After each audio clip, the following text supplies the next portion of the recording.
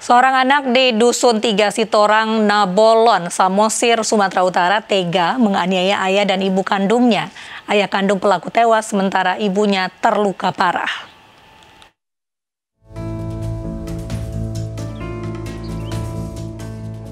Pembunuhan sadis terjadi di Dusun Tiga Sitorang Nabolon, Desa Sihusapi, Kecamatan Simanindo, Kabupaten Samosir, Sumatera Utara.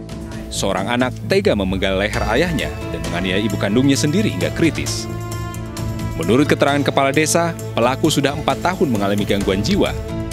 Pelaku juga pernah dipasung oleh kedua orang tuanya akibat sering mengamuk dan mengganggu warga lain.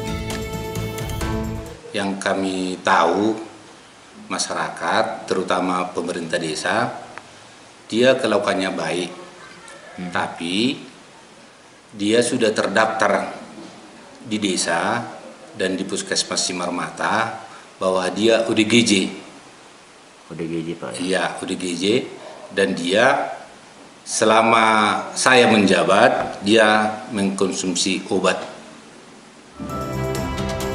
Saat ini, ibu kandung pelaku masih dirawat di Rumah Sakit Umum Hardriano Sinaga.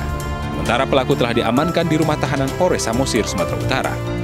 Dari Kabupaten Samosir, Sumatera Utara, Junjungan Marpau, Anyus melaporkan.